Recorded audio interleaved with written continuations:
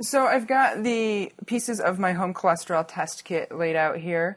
The most important thing with any home health test or any home health device is to always read the enclosed instructions thoroughly.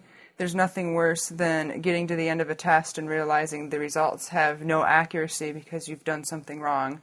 So not only have you poked your finger and drawn blood from yourself, now you have to go spend money on a test you just bought doubles your cost and doubles your frustration. It doesn't double your fun.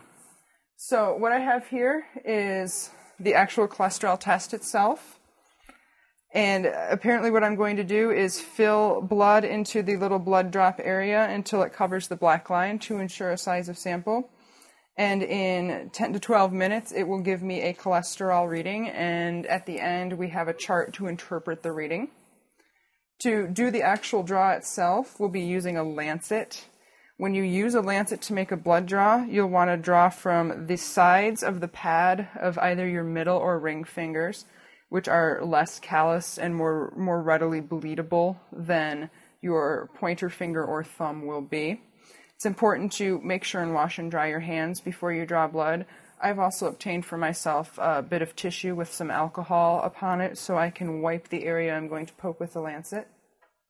Then you use the gauze pad to clean up any blood that may have gotten anywhere, or if it bleeds excessively, apply a little pressure using the gauze pad. It, it should close up right away.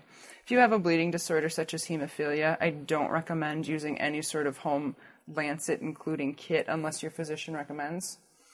And the most important and most painful part of any home test, the band aid. We'll be doing that at the finale of the testing.